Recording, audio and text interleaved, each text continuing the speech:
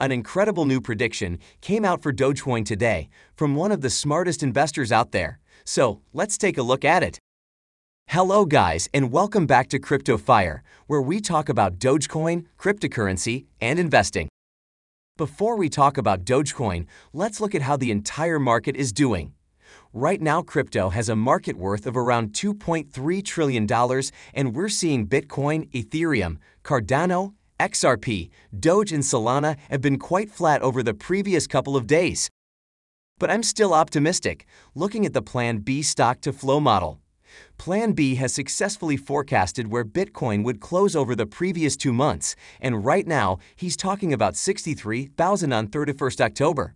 And then he's also saying that we'll go parabolic in November and December, that we'll set new all time highs in December, surpassing 100K. I told you to brace yourself for September being a red month in Bitcoin and crypto rising in October, and this is exactly what we're seeing now. Now, the big news is that David Gokhshtein had some really interesting things to say about Dogecoin. He began by saying that, I firmly believe Dogecoin will go to a dollar. You have Vitalik, who's on Dogecoin's foundation now. If Ethereum helps out with building or correcting something within Dogecoin's ecosystem, there's no limit. It just doesn't stay at a dollar, it goes further. And then he also said that Dogecoin can rise 12 fold to hit $3, but only if it gains more real world utility. So, right now, other altcoins like ETH and Cardano have more promising use cases, powered by automated smart contracts that people say can execute a wide variety of tasks, which include things like protecting medical data and limiting fraudulent insurance claims. So, the bottom line is that Dogecoin can reach its potential if it follows suit. And we know that Dogecoin's use cases will increase eventually because of its bridge with Ethereum. So, $3 for Dogecoin is looking inevitable at this point. But since the bridge isn't here, it might take longer than expected, and it'll test a lot of people's patience before it gets to $3. Also, if you want these time-sensitive updates quicker than others, just subscribe to our channel and turn on post notifications. The quicker we're able to spread the right info for Dogecoin, the quicker Dogecoin will get on the top. Now, another thing that I want to talk about is the new moves from institutional investors. They are also doubling down on Bitcoin, as the most recent JP Morgan analyst report stated that there has been a significant surge in demand from institutional investors. They were claiming that it had a lot to do with institutional investors wanting to hedge against inflation, and this is also extremely different from what we saw earlier in May when we saw JP Morgan issued a study stating that investors were shifting away from Bitcoin and toward gold. As you can see, now they're stating that the exact reverse is occurring, with investors shifting away from traditional gold and toward Bitcoin. They stated that they did so for a variety of reasons. The first is that there have been several recent guarantees from U.S. legislators that Bitcoin would not be banned. We all know that the United States will not ban Bitcoin. They already have it in a lot of legislation that produces tax money, so they're not going to ban crypto anytime soon. The second factor they mentioned was the recent growth of the Lightning Network and second layer payment solutions, which have all been believed to be aided by El Salvador's adoption of Bitcoin. So, once again, this simply shows that broad acceptance of Bitcoin is making large money players more comfortable with putting their money in Bitcoin.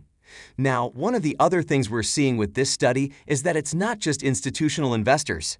There are smaller whales like Kevin O'Leary who came out earlier this week and stated that he has more Bitcoin than gold, and we're hearing a lot of others say the same thing. So it's quite fascinating that all of these people, who were originally either against Bitcoin and were going into gold, are suddenly altering their entire approach by putting more money into Bitcoin and less money into gold. They're finally understanding the value and use cases of crypto. Another implication is that we are also currently witnessing that the stock market is trading sideways. There are people who are scared, and these people are fleeing gold to purchase more crypto. In periods of inflation, people would purchase silver and gold as a hedge against inflation, since inflation means your dollar's value is depreciating because the government continues to issue money, thus devaluing your currency. Now there can't be any more gold or silver out there that hasn't already been created, therefore it can't be inflated. So, in a sense, it is deflationary.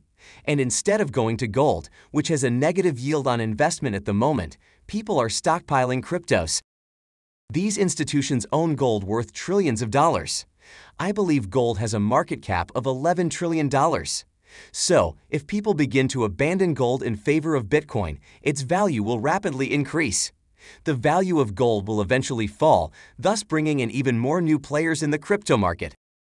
And another I want to talk about is how the government is slowly getting into crypto.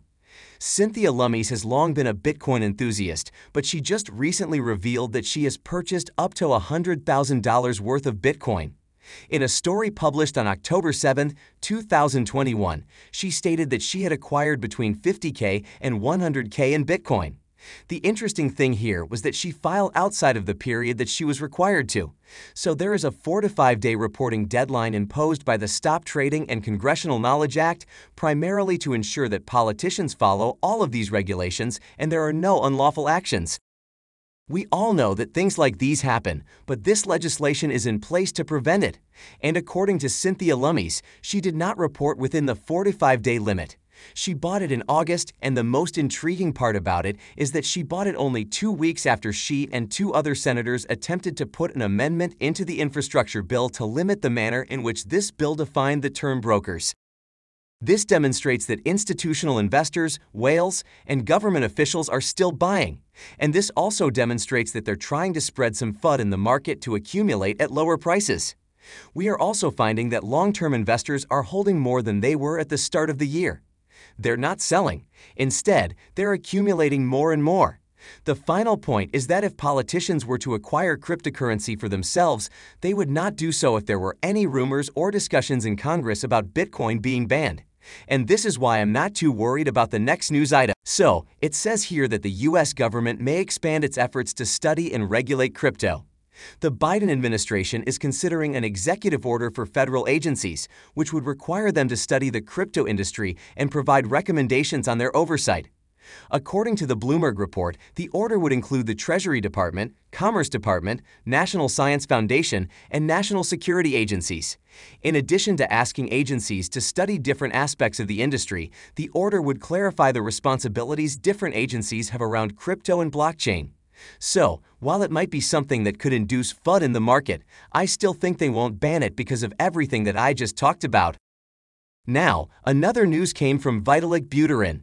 He's calling the mandatory use of Bitcoin in El Salvador totally opposite to crypto's ideals of freedom. He's suggesting that we should be able to buy anything we want with whatever money we choose. We shouldn't have governments telling us that you have to use the American dollar or you have to do the pesos or Bitcoin. You should be able to walk into a store and use Bitcoin, Dogecoin, or fiat to purchase your goods. But he's also forgetting that crypto being legal tender has many advantages too. People at El Salvador don't have to pay those enormous amounts of fees to Western Union for international payments anymore. Also, I think this move from El Salvador is just the beginning. If some other countries make it mandatory to accept payments in crypto, we're looking at at least a million dollars per Bitcoin because there's simply so much money out there that isn't in cryptocurrencies. We'll multiply by 10x to 100x if we receive even a tiny proportion of it. Now, if we get all of the businesses in the world that have the capacity to utilize cryptocurrency as a method of payment, there would be millions of new millionaires in the world. At this point, this is obviously a prediction, but I think it's possible because just two months after El Salvador's announcement, we heard similar plans from Brazil and Tonga. And then the CEO of Bitfinex said that at least five countries will accept Bitcoin as legal tender after El Salvador. He also said that he expects all of them to be developing countries. This is because, according to the World Bank, low and middle income countries received around $540 billion in remittances in 2020, and this is nearly 75% of total global remittances. The IMF predicts that developing countries will experience over double the inflation rates that developed economies will take this year. Now, let's come back to Dogecoin analysis. It's currently trading around 25 cents and is still above the 100-day moving average. As I said in the previous video, Doge needs to go above the 200-day simple moving average, which currently stands at 27.5 cents, if it wants to quickly break above the 32 cents mark. My prediction is that it'll get there sometime by the end of this week. Still, I'd love to know where you think we're headed from here. So let me know in the comments section below. And this is it for today's video. Thanks for watching till the end. If you enjoyed it, please consider liking and sharing it with your friends. Also, please subscribe to the channel and turn on post notifications for daily videos on Dogecoin and cryptocurrency. If you have any questions or suggestions, please leave them in the comments section below. Goodbye. Take care.